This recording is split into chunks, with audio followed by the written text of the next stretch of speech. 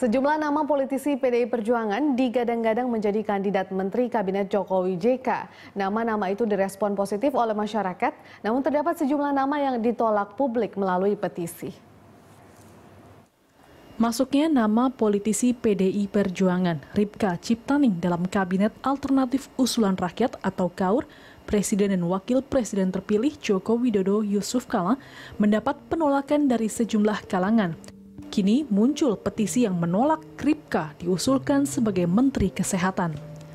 Seorang pengguna platform petisi change.org dengan akun Muhammad Riki Cahyana mengedarkan petisi online yang isinya menolak Kripka sebagai calon Menkes.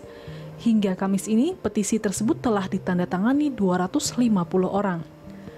Dalam halaman petisi itu, Riki menyayangkan masuknya nama Ripka sebagai calon Menkes dalam KAUR yang dibentuk tim Jokowi Center.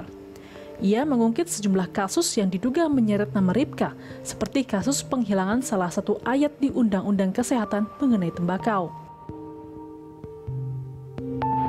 Selain dalam situs change.org, petisi menolak Ripka sebagai calon Menkes juga muncul dalam petisi online.net.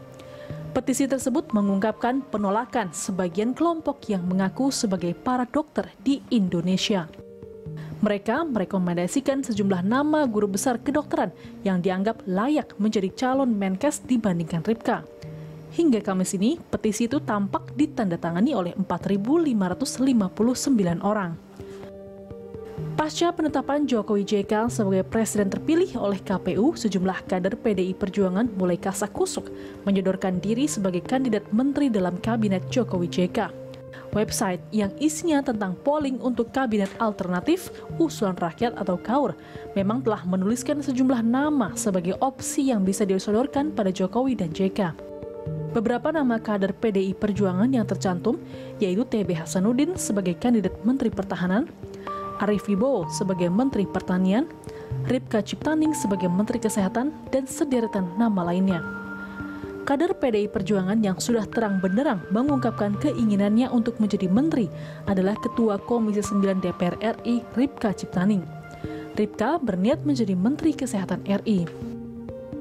Ripka mengaku siap untuk dicalonkan menjadi Menteri Kesehatan, asal itu pilihan rakyat, Ripka menegaskan pelayanan kesehatan rakyat harus dijamin oleh negara. Ia berharap di bawah presiden terpilih nantinya tidak ada lagi rakyat yang tidak diterima oleh rumah sakit. Tim Liputan, Berita Satu.